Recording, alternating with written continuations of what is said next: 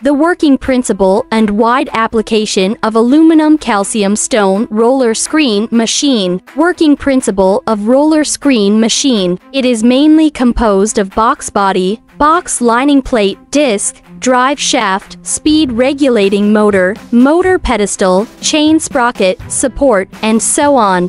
Because the screen shaft is arranged according to different working angles, the speed is faster when the material runs at a position with a higher working angle. When the material runs at a lower working angle, the speed is more gentle two different speeds under the operation of the material in the screen at a certain position of the convergence began to do axial motion so that the material evenly distributed on the screen to achieve the purpose of improving the screening efficiency and screening accuracy. It is suitable for sieving coal, coke, ore, limestone, etc widely used in coal transport system of thermal power plants and also widely used in metallurgy, chemical industry, building materials, coal system.